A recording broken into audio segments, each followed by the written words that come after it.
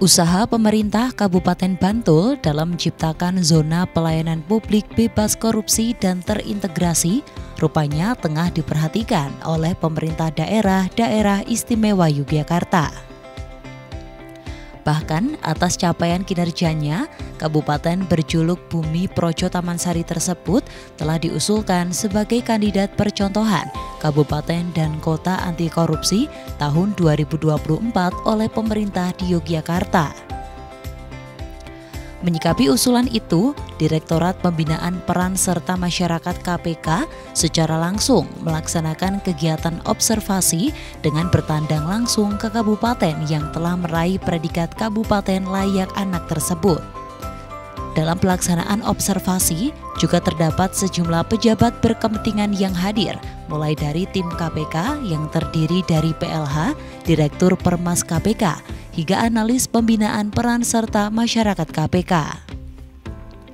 Pihaknya menyampaikan dalam proses pengusulan kabupaten dan kota anti korupsi tersebut telah didasari atas kaidah-kaidah yang objektif, salah satunya nilai MCP Bantul yang terus mengalami peningkatan dari 92% pada tahun 2022 menjadi 94% di tahun 2023 termasuk syarat awal lainnya yakni opini BPK WTP di mana Kabupaten Bantul sudah 11 kali opininya wajar tanpa pengecualian. Inilah syarat standarisasi yang telah ditetapkan oleh KPK.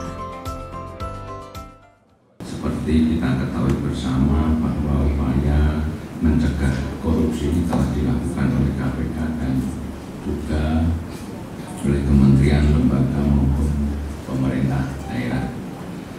satu program yang diinisiasi oleh KPK beberapa tahun yang lalu adalah program Desa Anti Korupsi. Dan selanjutnya untuk menjaga keberlanjutnya keberlanjutan tahun ini KPK memperluas program tersebut dengan mencanangkan percontohan kabupaten kota anti korupsi.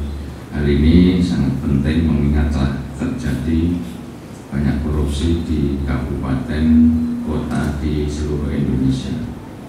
Kabupaten Bantul memiliki wilayah seluas 506,85 km persegi yang terbagi dalam 17 kapanewon dan 75 kalurahan. Pada tahun 2021, KPK telah menetapkan salah satu kalurahan di Kabupaten Bantul, yaitu Kalurahan Panggung Harjo Sewon, sebagai kalurahan atau desa anti korupsi pertama di Indonesia.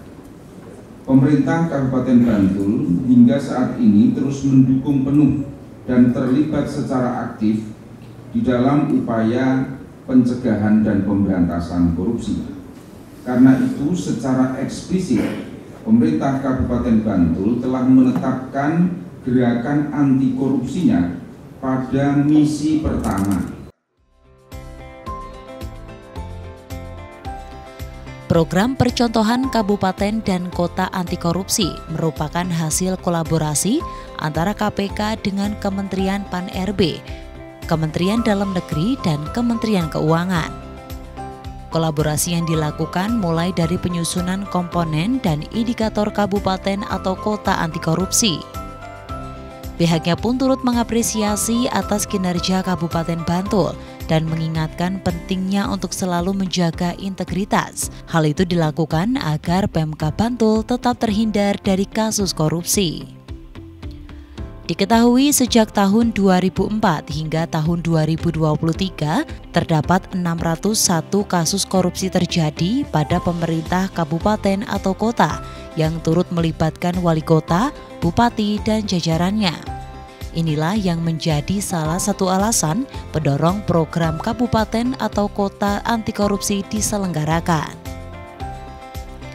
Dari Bantul, Daerah Istimewa Yogyakarta, Joko Pramono, Adit TV.